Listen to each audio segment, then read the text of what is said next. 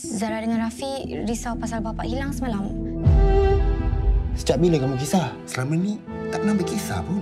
Kenapa kamu pergi sana? Macam mana bapa tahu?